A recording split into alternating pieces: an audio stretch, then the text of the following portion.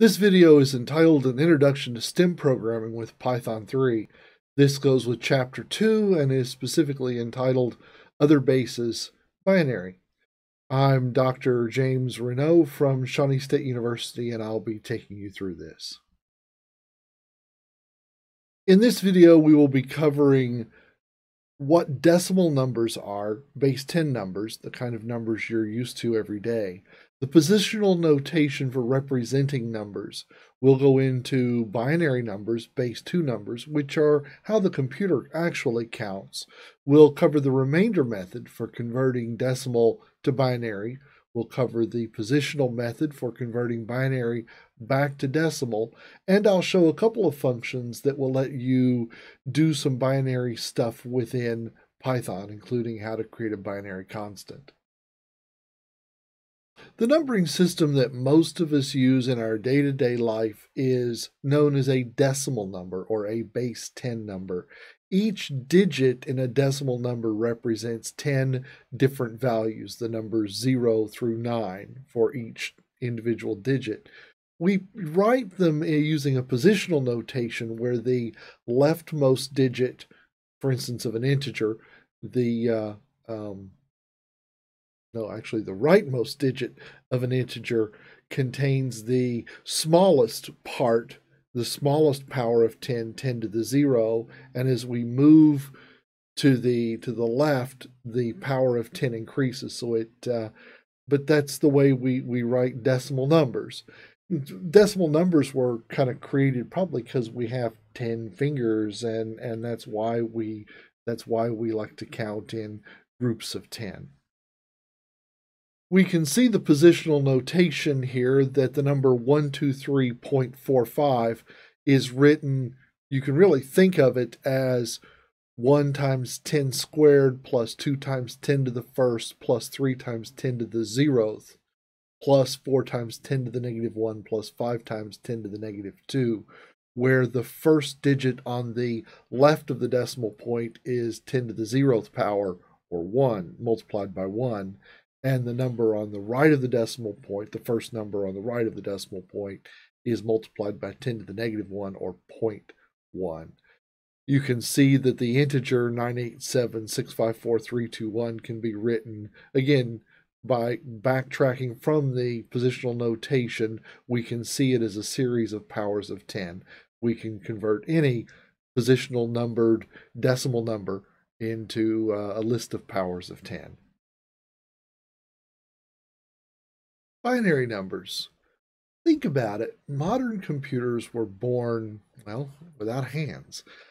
Maybe in the near future, our computers will have hands and be animatronic and robotic and all of that. But for right now, let's just think of the computer deep down inside of its brain as a series of switches that turn on and off or contain the numbers 1 and 0.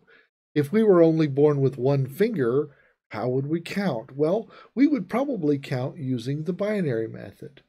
Um, you count by using binary, by using powers of 2 instead of powers of 10.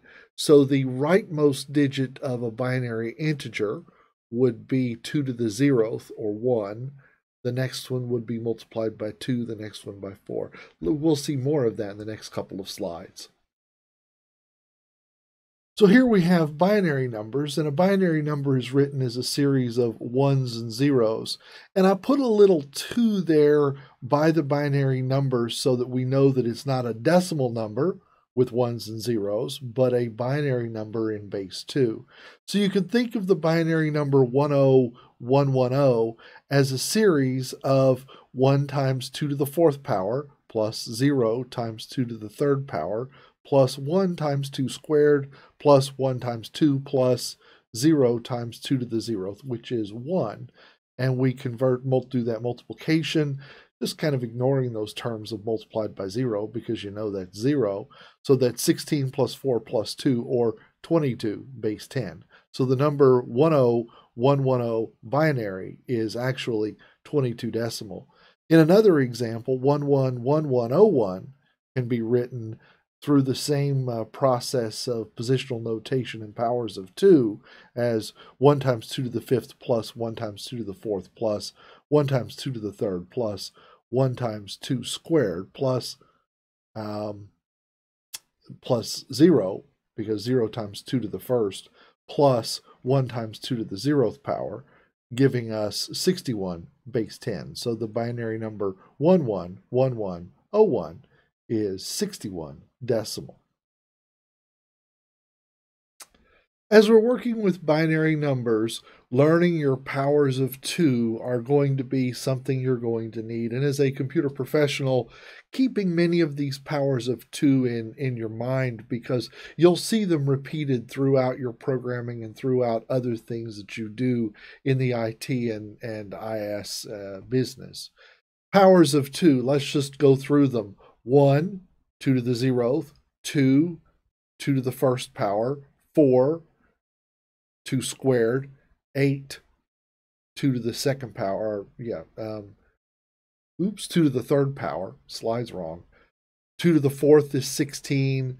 Just keep doubling 32, 64, 128, 256, 512, 1024.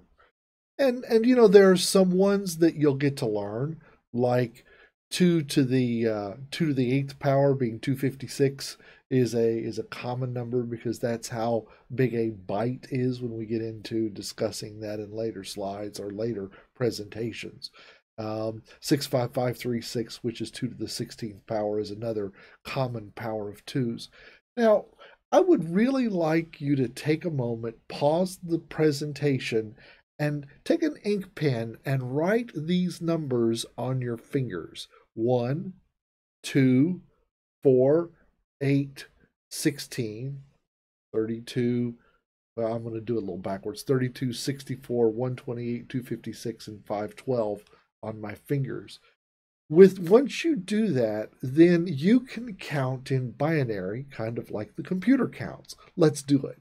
One, two, three, two plus one, four, five, four plus one, six, 4 plus 2, 7. 4 plus 2 plus 1, 8, 9, 10, 11, 12, 13, 14, 15. That's kind of cool. With both hands, you can count to 1,023 on two hands by using that binary notation on your fingers. Think about how powerful that is that most people can only count to 10 on their fingers. And now you can count to 1,023 on your 10 fingers. Now you see one of the reasons why the computer is so much better at math and stuff than we are at times. Now you may ask yourself, well, Dr. Reneau, how do we convert a decimal number to a binary number? We do that using the remainder method and dividing by 2.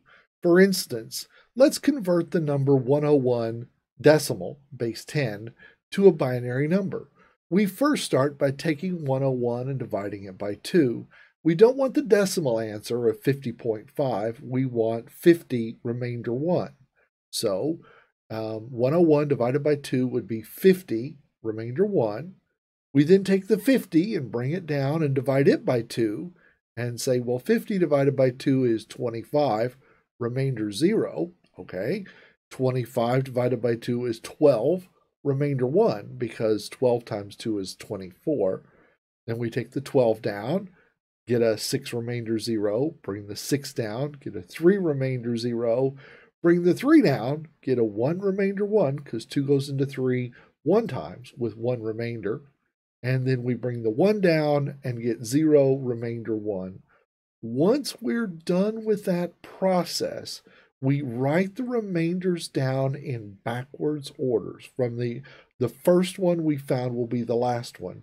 So we start at the bottom of our list, uh, like like uh, you know, like over there. There we go. Oh, yeah, well, there. um, we start with this number and write 11000101. So we start at the bottom and go 11000101. So 11000101 binary is 101 decimal. Now, you see why we put the little the little uh, uh, um, little little suffix there, the the little uh, mark, so that we know that it's a, a decimal number versus a binary number.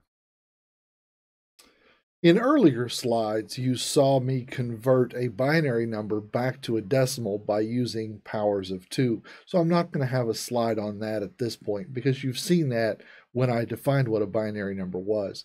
Now in Python, you can use binary numbers.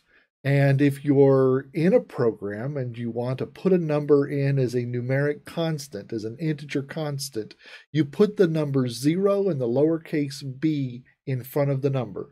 So if I say 0b101, that's going to be the binary number 5, 4 plus 1. Um, you can also convert an integer into a string that uh, contains a binary by using the bin function, and we'll see these in the next slide. Here you can see that I have the binary literal of 1011010, and uh, I have a 0b in front of it that tells Python that this is a binary number and not a decimal number.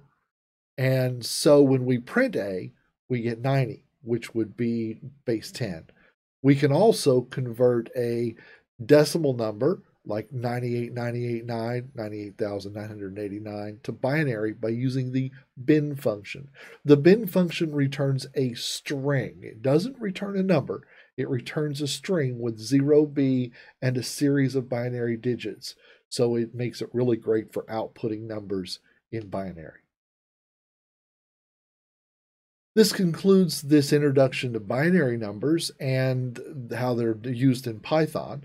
I'm again Dr. James Reneau from Shawnee State University. This presentation is copyright 2019 by me. You can contact me at jreneau at Shawnee State University or shawnee.edu. This work is licensed under a Creative Commons Attribution, non commercial, share alike 4.0 international license. And I'd like to say thank you for watching.